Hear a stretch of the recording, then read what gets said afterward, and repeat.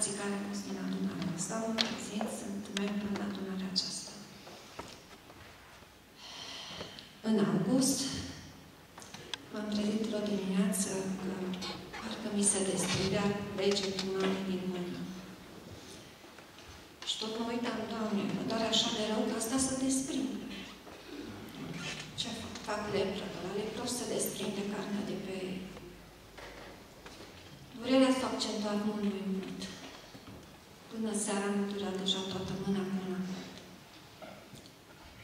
S-a umflat. A început să se binețească. Era problemă mare că mă durea. Dar problema mare era am doi părinți 85 și 84 de ani care depind 100% de grija mea. Mama are o pareză stângă de șase ani, trebuie să-i pun bol în mână. Dacă îi dau pâine, zice cum să dau pâine.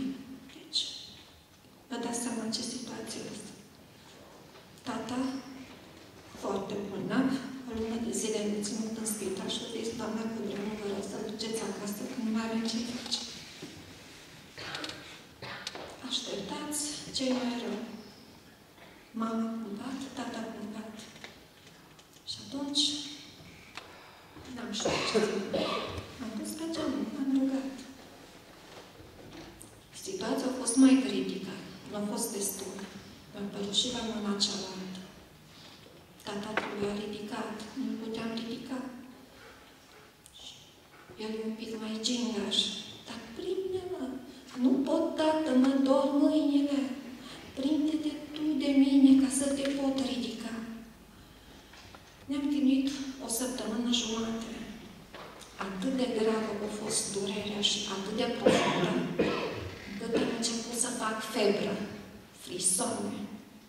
Și am zis în ziua următoare, asta deja era o săptămână și marțea următoare. Vă las și mă duc la medică. Nu mai pot. Cracă sufletul mine de durere. Am dus la medic. Când am văzut asistenta, ce ați căzut, erau vinete. Nu n-am căzut. Și atunci, intru cu dumneavoastră la doctoriță, pentru că dacă se adeverește ce presupun, e foarte grav. Hai, domnule, ce poate să fie așa de grav? Mă gândeam, am o artrită, în cel mai rău caz. Trăm în cabinet, doctorița, o creștină de-a noastră, ce ați pățit, a scăzut unul, așa din senin mi-a părut. Spune, mă consultă, doamna Pădreu, nu trebuie să vă dau o poveste bună. Aveți gută. O gută. Cum să am gută? Eu am un vecin care are gută la picioare. Îi s-au umflă picioarele, nu poate umla în perioada în cârș. Eu de la ce am făcut gută? Eu mănânc în mod sănătos, pentru că îmi îngrijesc părinții bolnavi și automat mănânc și eu sănătos. Nu știu de la ce ați făcut, dar aveți gută. M-am prăbușit. Nu știam nimic de boala asta. Vă dau tratament o săptămână. Dar dacă nu îngăduie durerea, chemați ambulanța. Pentru că în cazul ăsta cunoaștem că e așa de profundă durerea, că-ți pierd mințile. Am mers la farmacie, mi-am luat medicamente pe trei zile, pentru că aveam o problemă mult mai accentuată în corp, care nu mă accepta multe medicamente. Am luat seara tratamentul și peste noapte a declanșat altceva. Am făcut o criză de ficat ca să nebunești, nu alta. Și atunci dimineața să te ridici să începi programul cu părinții, prânzul, cu toate, cu toate. Ce mă fac, Doamne? Familia nu mă putea ajuta pentru că își dubleam casa, că era un concediu. Deci eram pe cont propriu. Am stat așa miercuri și joi după masă seara.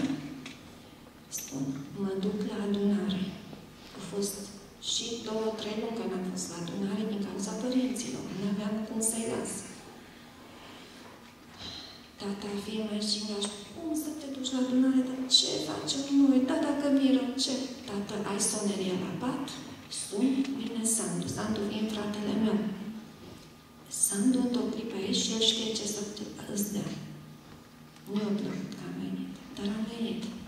Așa să vă închipuiți că așa de rău mă durea, nu mă puteam pieptăna, nu mă puteam îmbrăca. Abia dacă puteam să mănânc ceva tare, să-l iau la mână, ca să-l duc la gură, că din nu puteam să mă îndoi mâinile, că erau umflate pălmile.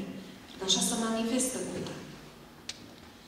Când am urcat în autobuz, n-am putut să mă prind de bară, că nu puteam, dar mâinile erau în poziția asta puteam să mă țin. Deci ca pe copii, i-am intrat, numai așa stăteam.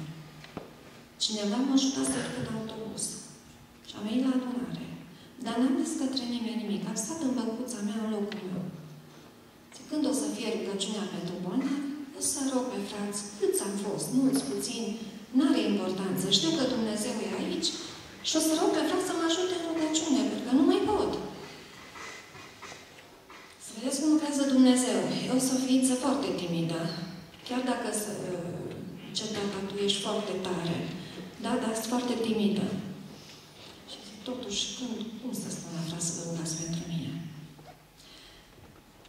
Când începe rugăciunea pentru bolnavi, anunță fratele Liviu, spune, vom face ungerea cu un de lemn, pentru că sora a cerut ungerea. Și am zis, Doamne mare, și nu trebuie să spun. S-o cântat o cântare, am ieșit afară la ungere. Când m-am pus pe genunchi, cineva m-a ajutat, pentru că nu mă puteam pune pe genunchi, că n-aveam cum să mă sprijin. Dar m-am pus acolo, în partea aia, acolo lângă băncuță. Făcut ungerea și când s-a terminat rugăciunea, am ridicat făcut rugăciunea de mulțumire și fugă la autobuz, depinde de autobuz. Vă mărturisesc în fața Domnului.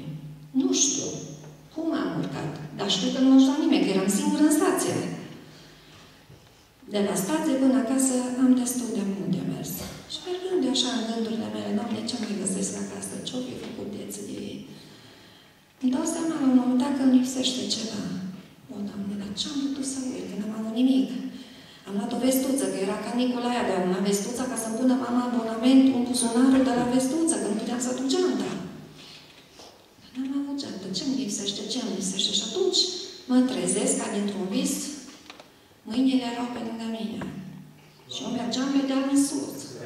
Și m-am oprit, fraților și sor, dragi, m-am oprit în loc. Și am zis, Doamne, ca mâinile spre lângă mine nu mă dor.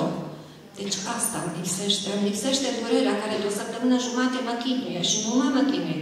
M-a terorizat. Și mâinile nu mi-au fost umflate și m-am dus acasă. Bătrânii mei au fost foarte bine. Mi-am făcut slujba care trebuia să o fac. Și de atunci mulțumesc Domnului. Amin. Nu mă mai dor mâinile, nu mi s-a mai aflat, dar am sunat pe doctoriță. Și am spus, cum stați cu cuta, doamna Clodeanu? A zis că dacă nu vă trece, veniți să vă trimit la un specialist, pentru că nu-i deja cu treaba asta. Și am spus, doamna doctor, asta credeți în Dumnezeu meu. Am fost la adunare și mi-a făcut ungerea și Dumnezeu m-a vindecat. Slavă Domnului, doamna Codreanu, înainte cu credință. Deci, Dumnezeu mai face minuni. De cine se îndură. Și sper să se îndure de fiecare. Amin. Amin.